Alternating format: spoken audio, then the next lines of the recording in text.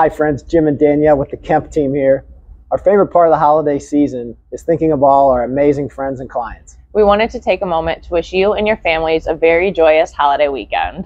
It's all fun and games until Santa checks the naughty list. We hope you have a Merry Christmas.